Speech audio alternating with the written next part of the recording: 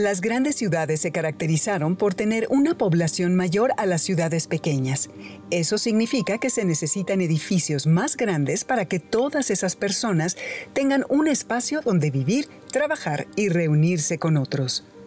En las principales ciudades podemos encontrar plazas, parques, museos, teatros, estadios, centros comerciales, foros, iglesias, universidades y un sinfín de edificios modernos y clásicos que muestran la historia de su arquitectura. No solamente los monumentos o las estatuas representan momentos de la historia, hay calles, casas, edificios y lugares específicos donde sucedieron hechos que cambiaron la historia de un país. También hay edificios que, literalmente, guardan el pasado, como el Palacio de Lecumberri, que actualmente es la sede del Archivo General de la Nación.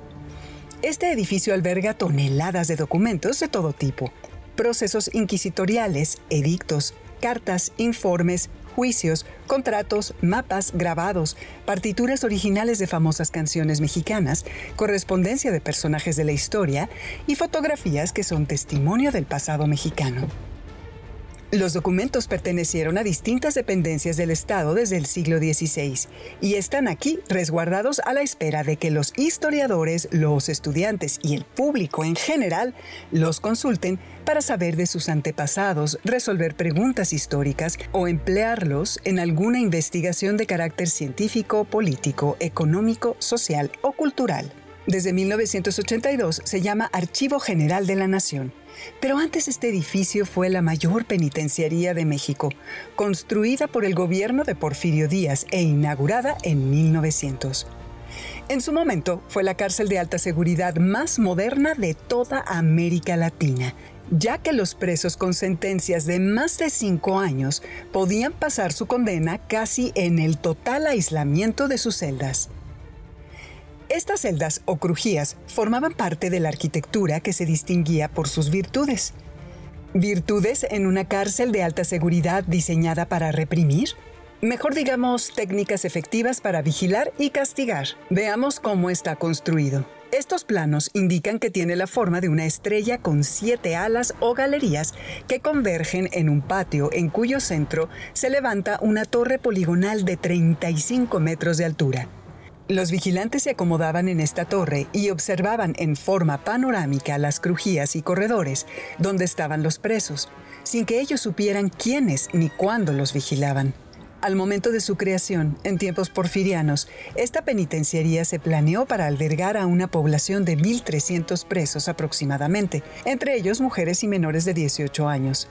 En 1971, tres años después de haber iniciado el movimiento estudiantil de 1968, contaba alrededor de 3.800 internos. Las supuestas virtudes de esta cárcel eran resultado del estilo arquitectónico en el que se basó su diseño. El sistema panóptico. Este sistema fue ideado por el filósofo inglés Jeremías Bentham en el siglo XVIII su función fue crear en los prisioneros la sensación de estar permanentemente vigilados, nunca tener privacidad y no poder actuar con libertad. De esta forma, los sujetos internalizan o graban en su inconsciente la permanente presencia de algo amenazante e invisible, lo cual en la mayoría de los casos, baja su capacidad de resistencia, sus defensas psicológicas y energías, logrando de manera eficaz su sometimiento a la disciplina impuesta. El concepto de tener ojos en todos lados para poder vigilar a los delincuentes o las personas comunes y corrientes y así tener control sobre ellos no es nada atractivo para los vigilados o para la humanidad en general, pero la palabra panóptico tiene un origen mítico. Este término viene de Argos Panoptes, un monstruo de la mitología griega al servicio de la diosa Hera, que tenía 100 ojos en el cuerpo, con los cuales veía todo, ya que mientras unos ojos dormían, otros estaban despiertos. Zeus ordenó a Hermes, otro dios de la mitología griega, que se deshiciera de él, porque no quería que viera sus andanzas con otras diosas. Hermes se disfrazó de pastor para pasar desapercibido y tocó su flauta hasta que el monstruo cerró todos sus ojos y se quedó profundamente dormido. Entonces, según una de las versiones de este mito, Hermes le cortó la cabeza a Argos con una espada. Para recordar a su fiel guardián, Hera logró que los cien ojos de Argos quedasen estampados en las colas de los pavos reales para siempre. Cuando vemos las coloridas plumas de un pavo real, ¿pensamos en que nos vigila con sus decenas de ojos? No lo creo, pero así es la imaginación. Espiar a los otros, vigilarlo todo, meterse en la vida de los demás con la intención de controlar o hacer daño, han sido defectos muy comunes o conductas muy frecuentes para conocer la vida íntima de las personas y aprovecharse de los demás. Por eso, en muchas fábricas, centros comerciales y edificios de oficinas existen panópticos, ya no con guardianes o vigilantes en una torre, sino con sistemas de videocámaras, es decir, con mil ojos que nunca duermen. La idea de espiar a los cautivos en las prisiones, a los jóvenes en los internados, a los enfermos en los hospitales psiquiátricos, a los trabajadores en los talleres, a los maestros, los periodistas y a quienes critican a las autoridades en turno, son formas de obtener información para preservar el poder, corregir las acciones que se consideran malas costumbres, limpiar el terreno de enemigos, infundir miedo y castigar. En México, antes de Lecumberri, el Hospital de San Miguel de Belén en Guadalajara y el Presidio de San Luis Potosí también fueron construidos con base en la arquitectura panóptica.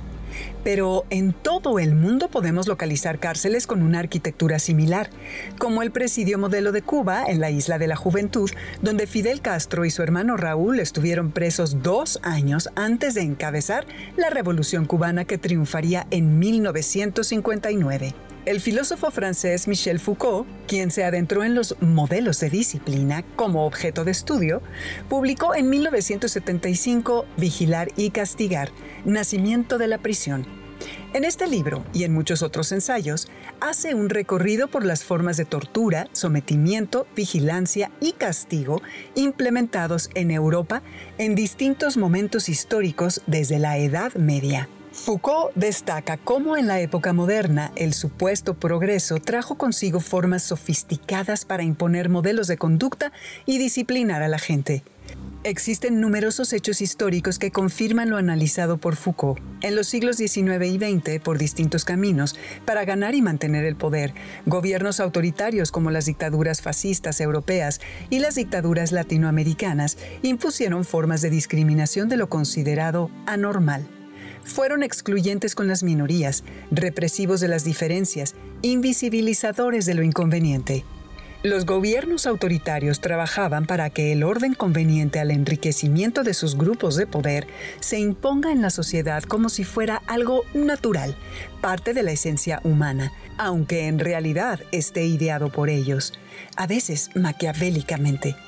Para ello inventan miles de formas de convencimiento, manipulación y persuasión entre ellas meternos en la cabeza que el mundo está dividido en superiores e inferiores, en buenos y malos, en lo correcto y lo incorrecto, en lo verdadero y lo falso, en lo femenino y lo masculino, es decir, que no existe algo intermedio o relativo.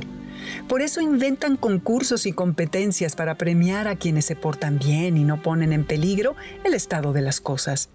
¿Qué es el autoritarismo? Bueno, el autoritarismo es un término genérico que se usa para calificar a gobiernos en los que la población no tiene defensas contra las decisiones gubernamentales y queda indefenso. ¿Cuáles son las características de un Estado autoritario? Despóticos, represores, porque no tienen freno. Las dictaduras las monarquías eh, no constitucionales son sistemas autoritarios sin mecanismos eh, constitucionales de defensa de la población. Hay muchos sistemas autoritarios que dan la cara de ser sistemas democráticos y que no lo son. ¿En México han existido gobiernos autoritarios?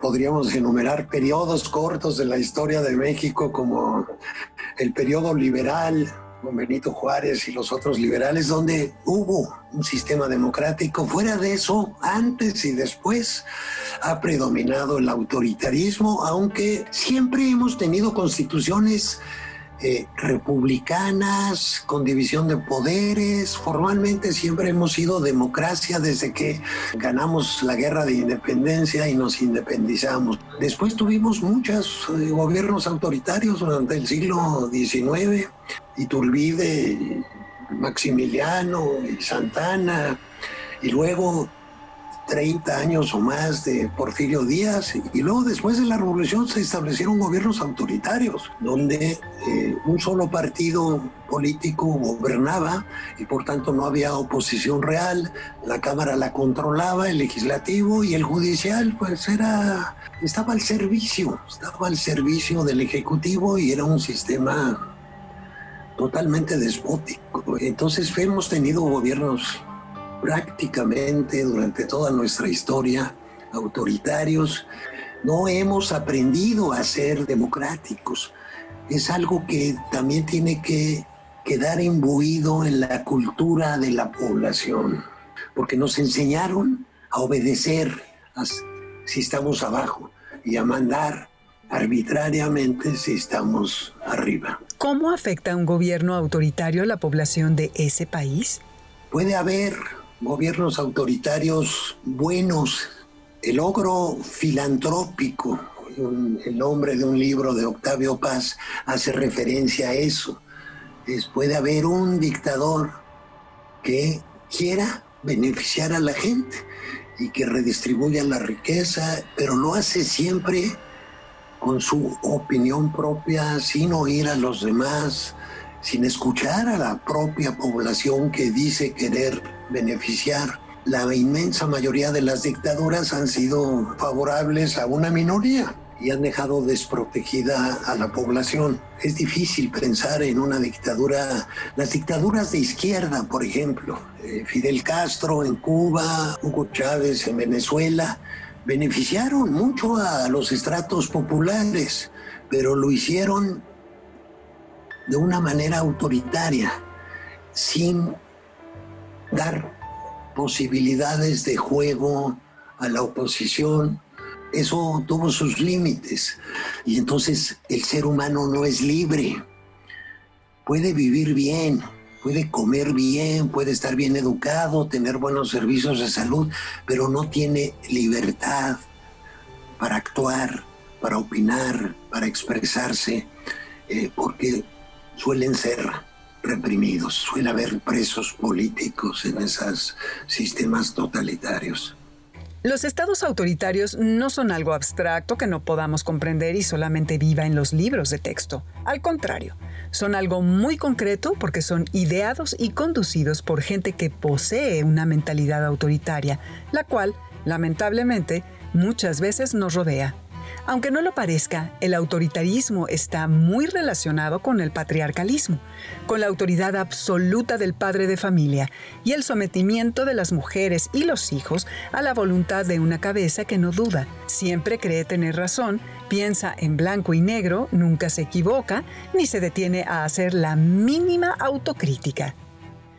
Los hombres y las mujeres autoritarias defienden las tradiciones, aceptan los valores convencionales, los varones autoritarios son los típicos machos que alardean de su masculinidad e imponen los estereotipos de ideal femenino. Simulan no tener sentimientos, ser fuertes y saberlo todo. Los hombres autoritarios creen tener una vida ejemplar, pero en realidad no son más que impostores. El autoritarismo parece un virus que se contagia. Los hijos varones imitan al padre autoritario y las hijas a la madre sufrida y sumisa que, cuando pueden, descarga sus frustraciones con los menores para controlarlos.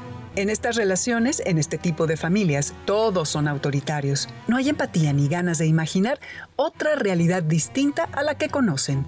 Todo crea un ambiente de tensión, malestar e infelicidad que viven muchas familias todo el día, todos los días. Imaginemos un país en donde el machismo en la familia, en la calle, en los salones de clase e incluso en el gobierno es lo normal. El autoritarismo por parte de los hombres que representan las figuras de poder que se supone se deben respetar no tiene límites. Qué ambiente tan cansado y frustrante para todos, sobre todo para los jóvenes que se dan cuenta de que otra realidad es posible y luchan por conseguirla. Imaginemos cómo era la vida en nuestro país hace unos cincuenta y tantos años. Imaginemos que estamos en 1968. presos políticos, libertad. Fue una petición que se escuchó constantemente en las manifestaciones en México a partir de la tortura y el encarcelamiento en el Lecumberri de los líderes del movimiento estudiantil de 1968. Recordemos la razón de fondo de la organización de este movimiento. Fue el hartazgo social por el autoritarismo que el gobierno en turno había practicado durante más de 40 años, desde el fin de la Revolución Mexicana de 1910. Desde entonces, los gobiernos postrevolucionarios habían logrado imponer el dominio de un partido único. Por eso hay quienes sostienen que después de la dictadura de Porfirio Díaz llegó otra dictadura, la dictadura perfecta, la dictadura posporfiriana. Los tres poderes, ejecutivo, legislativo y judicial, que en una democracia deben estar separados, estaban controlados por un único partido. Se turnaban en unos y otros cargos, permitiendo la entrada a sus filas solo a sus familiares. A eso se le llama nepotismo, y a quienes les fueran leales. Desde la posrevolución se instituyó un sistema presidencialista. Cuando terminaba un sexenio, el presidente y su gabinete simulaba ser democráticos, pero en realidad se cometían fraudes y se arreglaban las elecciones a favor del partido en el poder.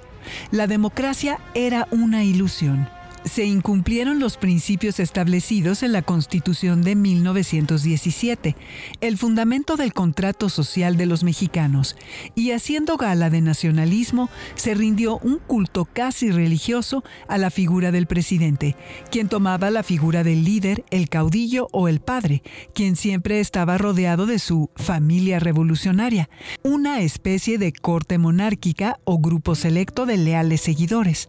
¿Era esta la maquinaria perfecta para controlar a todo un país? Sí. Durante casi todo el siglo XX, la centralización gubernamental controló la educación pública, la prensa, la radio, la televisión y el cine, así como las grandes centrales sindicales de obreros y organizaciones populares. Además, los grupos a los cuales favoreció pactaron las políticas económicas, los negocios y las inversiones. Impusieron sus decisiones a toda la sociedad y, con estrategias distintas, intentaron censurar y eliminar la crítica. Su propósito era pintar un paisaje que solo fuera favorable para el grupo en el poder, sin importar cómo afectaba al resto de la población, que paulatinamente se fue volviendo cada vez más pobre. Aunque en estos años de gobierno las fuerzas del orden recurrieron a la represión y se sumaron innumerables casos de desaparición forzada, los movimientos sociales no dejaron de organizarse. Los campesinos, los ferrocarrileros, los maestros y los médicos fueron algunos trabajadores que levantaron sus voces en contra del autoritarismo que implicaba altas dosis de violencia y corrupción. La respuesta a estos movimientos fue siempre la represión abierta y velada, de modo que las cárceles se llenaron de presos políticos y gente inocente convertida en chivos expiatorios. Recordemos tres ejemplos de los miles de presos políticos. El poeta Demetrio Vallejo y Valentín Campa, líderes del movimiento ferrocarrilero, recluidos en el Lecumberri durante 11 y 14 años respectivamente, y Otón Salazar, un líder del movimiento magisterial que solo estaría tres días en esta penitenciaría tras haber sido torturado. Durante décadas, el gobierno no respetó los mínimos derechos humanos. Sus opositores fueron castigados por distintos medios, asesinados o desaparecidos sin dejar huella. En 1968, cuando la movilización estudiantil iniciada en julio subió de tono y 43 jóvenes fueron consignados al Palacio de Lecumberri, las movilizaciones sociales se multiplicaron. Las cárceles se fueron llenando de más y más presos políticos, en la medida en que las viejas demandas campesinas y de los obreros independientes se empezaron a vincular con la agitación estudiantil, el gobierno sintió miedo se tambaleó y recurrió progresivamente a los cuerpos policíacos, los granaderos y el ejército para detener la inconformidad. En el mes de agosto de 1968, el Consejo Nacional de Huelga conducía un movimiento de los estudiantes de distintas universidades, centros de estudios superiores y bachilleratos en la Ciudad de México, y elaboró un pliego petitorio consistente en reclamar al gobierno la libertad de los presos políticos que habían aumentado por las distintas acciones e intervenciones de la fuerza pública en planteles educativos, entre ellos por la entrada del ejército a la Universidad Nacional Autónoma de México, la UNAM. Además, el pliego petitorio pedía el fin de la represión de la policía, los granaderos y el ejército con la destitución de los generales Luis Cueto Ramírez y Raúl Mendiola y del coronel Armando Frías. El pliego petitorio también demandaba la indemnización a las familias de los muertos y heridos, víctimas de las agresiones sufridas el viernes 26 de julio en adelante. Como cualquier gobierno autoritario, el del presidente Gustavo Díaz Ordaz no vio, no escuchó, ni entró en diálogo con los líderes estudiantiles. Al contrario, al ver que el descontento crecía y la situación escapaba de sus manos, promovió el miedo y la represión. El punto de quiebre de esta política fue el 2 de octubre. Ese día, los estudiantes habían convocado un mitin que se celebraría en la Plaza de las Tres Culturas en Tlatelolco. El gobierno procedió a dar lo que ellos pensaron sería un castigo ejemplar. En la noche, en pocas horas, numerosos estudiantes fueron muertos y apresados. Con esta matanza se evidenció la ausencia de democracia a nivel nacional y se hizo gala del autoritarismo. Luis González de Alba, uno de los integrantes del Consejo Nacional de Huelga, apresado y enviado al Palacio Negro de Lecumberri, escribió uno de los testimonios más valiosos de los hechos ocurridos en México en 1968, por ser víctima y testigo ocular de los mismos.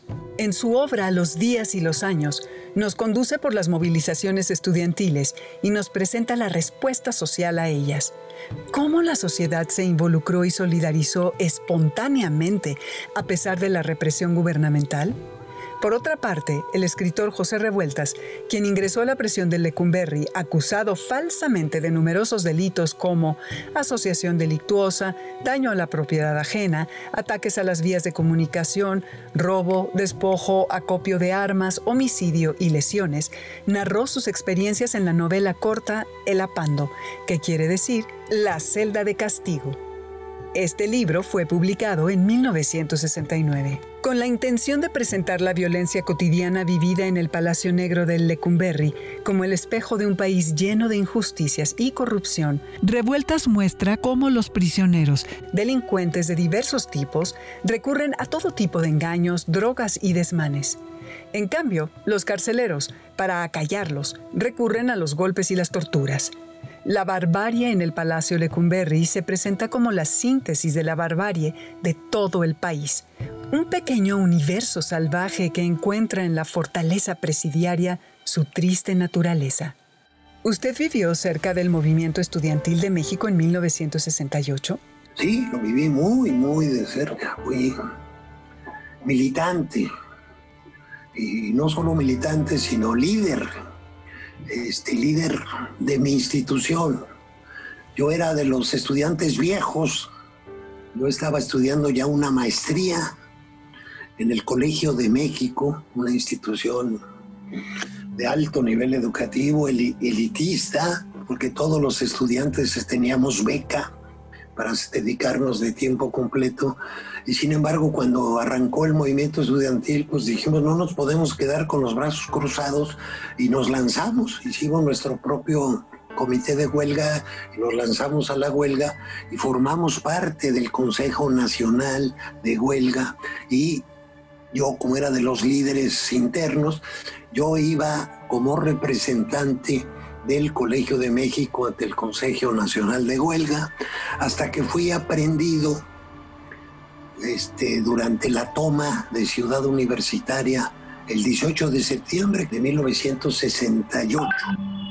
El ejército tomó Ciudad Universitaria, rodeó el edificio donde sesionaba el Consejo Nacional de Huelga y nos apresaron a la mayor parte de los que estábamos sesionando ahí, unos lograron escapar, yo no me quise arriesgar y me entregué voluntariamente a los soldados que estaban tomando las instalaciones. Estuve 40 días en el Palacio Negro de Lecumberri y luego me soltaron, me soltaron con libertad bajo fianza el día que se clausuraban los Juegos Olímpicos como un acto simbólico. Me soltaron a mí junto con otros 40 o 50, pero no a los líderes más conocidos. Muchos de ellos estuvieron tres años en la cárcel. Entonces viví la represión de un régimen brutalmente autoritario como era el de Díaz Ordaz, que llegó al extremo del genocidio. ¿Cómo fue vivir ese movimiento en la juventud? La libertad no se olvida. Es uno de los mejores libros sobre el movimiento estudiantil del 68. Y eso fue lo que vivimos durante 40, 50 días, una libertad absoluta. Salíamos a las calles con nuestros volantes, hacíamos mítines y decíamos lo que pensábamos. Y hubo una libertad total. El gobierno estuvo como este, retraído hasta que decidió que ya estaban muy cerca las Olimpiadas. Por eso la represión fue el 2 de octubre, porque el 12 de octubre se inauguraban los Juegos Olímpicos en México y pues el gobierno no quería que los reporteros de todo el mundo que ya estaban llegando a México viera las calles de la Ciudad de México llenas y entonces reprimió brutalmente y logró logró su objetivo. Fue tan brutal, mataron a muchos, metieron a, la mayoría a la cárcel y los que quedaron libres ya no podían organizar nada porque todo el mundo tenía miedo, mucho, mucho miedo. Y entonces fue libertad y miedo, una combinación de esos dos sentimientos, pero yo siento que cambiamos el rostro de México, que fue a partir de ese momento cuando empezó a haber un cambio verdadero en México, que yo me he atrevido a llamarle la cuarta transformación. Lo que en todo caso está intentando el gobierno actual sería la quinta, pero no se pueden olvidar estos 52 años desde que ocurrió el movimiento estudiantil en que se democratizó el país. Nos cambió la vida a todos los que estuvimos ahí y a casi todos los que no estuvieron ahí. Mientras en México se organizaba el movimiento estudiantil, en Estados Unidos sucedían protestas similares dentro de la ola de movimientos sociales mundiales que desde los años 50 del siglo XX lucharon por los derechos civiles de los descendientes afroamericanos, los derechos de las mujeres, el movimiento hippie, el movimiento de la contracultura y que se oponían a la guerra de Vietnam. Quizás has escuchado acerca de los protagonistas de estos movimientos. ¿Sabes quiénes fueron Martin Luther King y Angela Davis? ¿Te interesaría conocer más de lo que hicieron en la segunda mitad del siglo XX? ¿Crees que los movimientos en defensa de los derechos civiles y los derechos de las mujeres en Estados Unidos sirvieron de algo para el resto del mundo? En otros países también ocurrieron movimientos estudiantiles anteriores al mexicano, en Berlín en 1967 y en París en mayo de 1968 pero el movimiento mexicano respondió a las particulares formas de represión implementadas por el gobierno, que imponía sus decisiones y silenciaba la crítica y la disidencia. Por eso, este movimiento fue el parteaguas de los cambios democráticos que muy lentamente y con muchos esfuerzos la sociedad mexicana lograría en el resto del siglo XX y las primeras décadas del siglo XXI. La revuelta, el miedo, los castigos, los peligros, así como la determinación de los jóvenes mexicanos y las vidas que se perdieron luchando contra el autoritarismo, fueron el comienzo de los cambios. Por eso la historia de México los recuerda, en parte, en el Archivo General de la Nación, que hoy reposa entre las paredes del viejo Palacio Negro de Lecumberri.